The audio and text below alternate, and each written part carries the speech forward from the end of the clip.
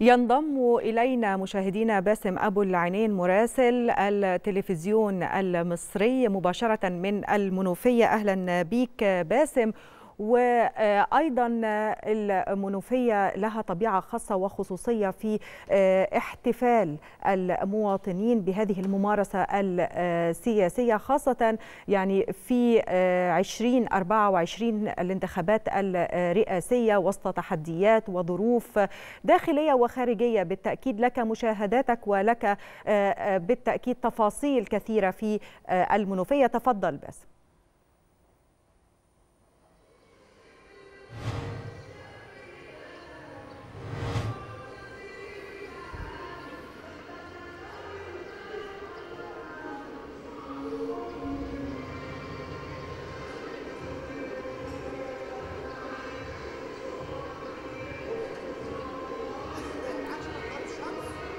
转 تحياتي من مدينة شبين الكوم بمحافظة المنوفية. نعم نحن في ثالث أيام الاستحقاق الدستوري ولانتخاب رئيس الجمهورية لست سنوات قادمة حسب ما أعلنته الهيئة الوطنية للانتخابات ودعت إليه عموم المصريين للاقتراع وانتخاب رئيسهم القادم. هذه الانتخابات التعددية التي يشارك فيها أربعة مرشحون يتنافسون فيها على منصب رئيس الجمهورية.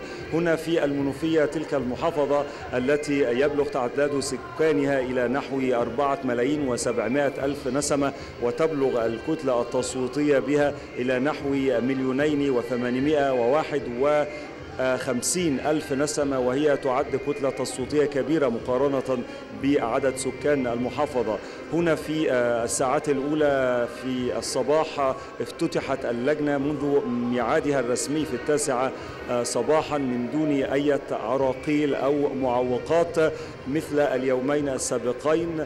وتواجد الجمهور أمام اللجنة منذ الثامنة والنصف تقريبا وبدأت الحشود تتوافد بالخارج للمشاركة في الانتخاب والإدلاء بأصواتهم ويتم دخول الناخبين إلى اللجنة من خلال التفويج مجموعة مجموعة وذلك حتى لا يحدث تكدس للناخبين داخل اللجنة. يوجد في هذه اللجنة لجنة الشهيد النقيب أحمد عبد الرحيم السرسي في شبين الكوم. توجد لجنتان فرعيتان هنا في داخل هذا المقر الانتخابي الرئيسي في مدينة شبين الكوم.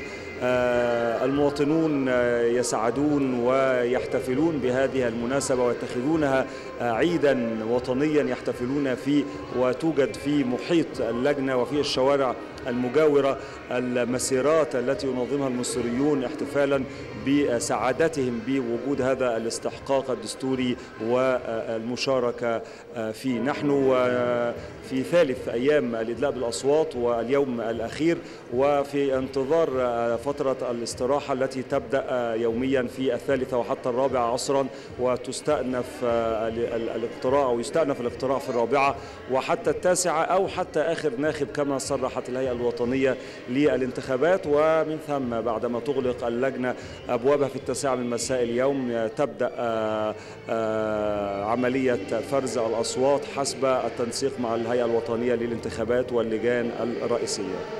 أعود إليك.